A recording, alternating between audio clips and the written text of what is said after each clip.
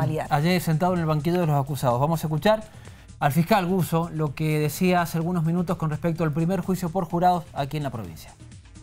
Estaba en el lugar y que vio y que va a ratificar lo mismo que estamos anunciando ahora.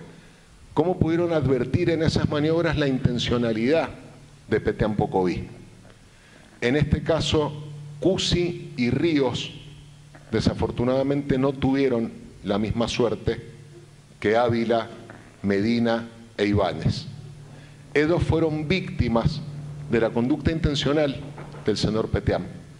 Por eso hoy no están. Y por eso a través de los testimonios nosotros vamos a poner palabras en lo que fue justamente el actuar de los funcionarios policiales Ríos y Cusi. También van a venir a declarar nuevamente psicólogos, psiquiatras, para explicar por qué Petean Pocoví, pese a que había consumido cocaína en una gran cantidad, sabía perfectamente lo que hacía.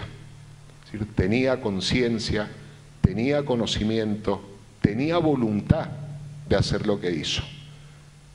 En este caso, la defensa también seguramente va a tratar de ponernos en crisis, de tratar de sembrar una duda en ustedes como miembro jurado va a tratar seguramente de mostrar que esto, que con tanta claridad aparece como un hecho intencional y doloso, quiere decir a propósito, sin que le importen las consecuencias de lo que ha hecho, ellos van a tratar de decir que esto simplemente se trató de un accidente de tránsito.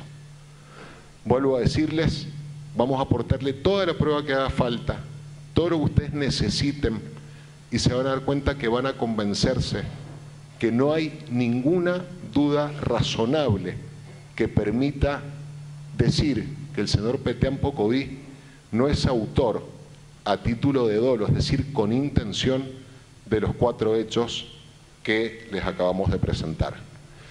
El veredicto que ustedes después dicten también es otro aporte a la democracia y es otro porte a la reconstrucción de esta paz social que necesita nuestra provincia y que justamente es lo que vamos a solicitarles nuevamente un veredicto de culpabilidad en contra del señor Sebastián Alberto Petiampocoy.